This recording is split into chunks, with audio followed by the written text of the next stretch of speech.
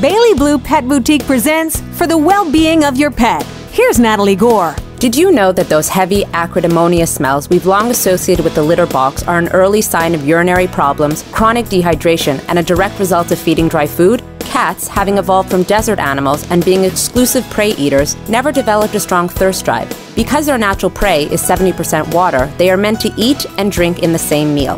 The very act of eating ensures proper hydration. However, since the advent of commercial bagged convenience cat food, we've been feeding our carnivores an entirely dehydrated diet of carbohydrates and starches, and they've been paying a heavy price ever since. Chronic dehydration is known to be a leading cause of urinary crystals, cystitis, compromised kidneys, and bladder infections. If you'd like to know more, please stop by for a free consultation.